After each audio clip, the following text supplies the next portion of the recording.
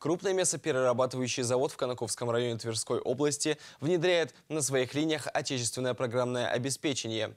Пилотной площадкой стал цех упаковки готовой продукции. Там установлена система диспетчеризации, которая позволяет пользоваться программой с любого устройства, которое подключено к внутренней сети компании. Это позволяет отслеживать текущее состояние оборудования, оперативно реагировать на любые изменения. Эффективным инструментом для реализации проекта стала отечественная разработка – инновационная платформа, которая содержит обширные библиотеки готовых функций и функциональных блоков, имеет простой интерфейс и революционно гибкую систему автоматизации. В планах группы компаний аналогичная диспетчеризация всех цехов предприятия в виде отдельных систем. Следующей рабочей площадкой проекта станет участок термообработки продукции.